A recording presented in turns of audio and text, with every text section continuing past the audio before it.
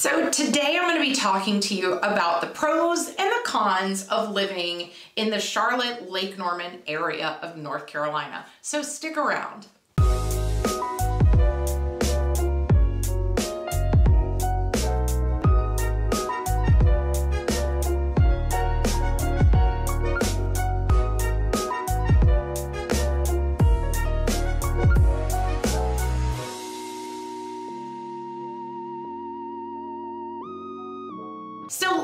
First about the cons, right? I like to get the bad stuff out of the way before we get too far in. So the first of which I've talked about it before is the infrastructure. The roadways are terrible. They're jam-packed. There's not enough routes to get around town. You're either sitting in traffic on I-77, which can be absolutely just irritating as all get out.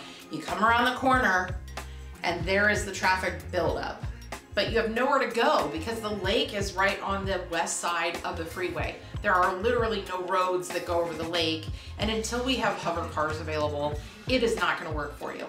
The city roads are just as bad, lots of back roads, tons of traffic lights. Because there's so much traffic, they keep adding more and more lights. So as you're just driving around town, you're constantly getting stopped by these lights. It's very irritating, but I think that the town planning is trying to catch up. They just quite haven't quite gotten there yet. So the next of those kind of goes into that is with all of this growth and craziness that's going on, the landscape of our area is changing rapidly. So what do I mean by that? Well, if you buy like a half acre property and you've got all these trees and woods around you and a farm behind you, it's beautiful, right? Peaceful and quiet. But because of all of that growth coming in, you might end up with a Dollar General next to you, a Walmart in where the farm was behind you, and a huge housing development or apartment complex right next door. So that's kind of an issue that I've got with you never know what you're getting. You might move down here and have a home on a great, beautiful piece of acreage, and all of a sudden, bam, you're surrounded in a city.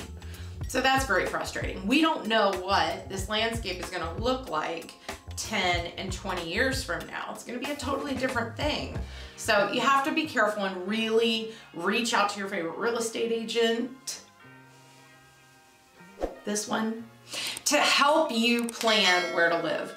We're gonna do our very best to check future zoning plans and make sure that you're in the right spot, right? So my next thing is with this growth and the landscape change, we also get school district changes. So you might put your kids in middle school but as the city grows, they're gonna build what? More schools. And then they're gonna split those kids up and put them in different schools. So your kids might go to middle school in one school, but then as that landscape grows, they may end up going to a different high school. So it's a really like balancing act, right?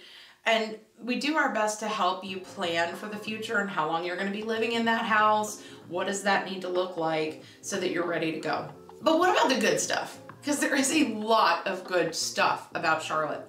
Now, I'm a big foodie. Jeff and I, we love to eat at all the cool restaurants. We like to check out all the really neat spots. So, that being said, Steak 48 is one of the top 100 restaurants in the entire country, and it's right here in Charlotte. Yeah. So along with all of the other cool places, we've got Brazilian steakhouses, Latin food, Cuban food, you know, everything you can ever imagine kind of food we have here. We've got a really great restaurant scene, bar scene, cool craft cocktails, smoked drinks, the whole nine yards, right? You can really get a great atmosphere. One of my favorite things, we will never ever run out of places to go and eat. So with that being said, what about outdoor life?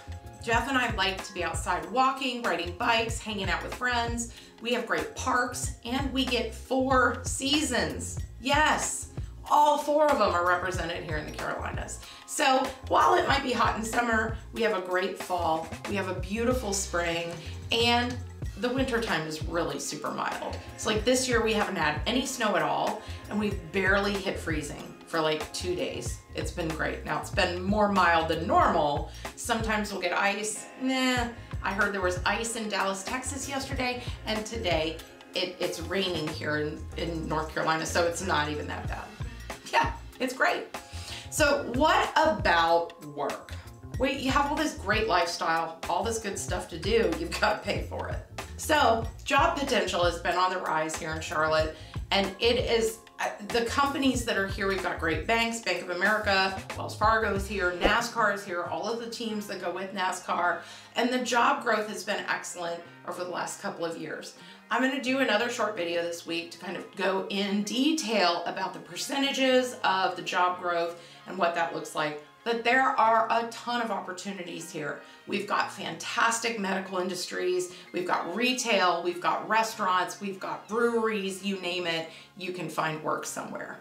So hope this helped you out with making your decision on whether or not you're gonna move to the Lake Norman, Charlotte area. If you do, don't forget to give Jeff and I a call. We want to be your tour guides. We will take you to some of the greatest places you can go to, and we wanna learn about your lifestyle so we can help you find the right house.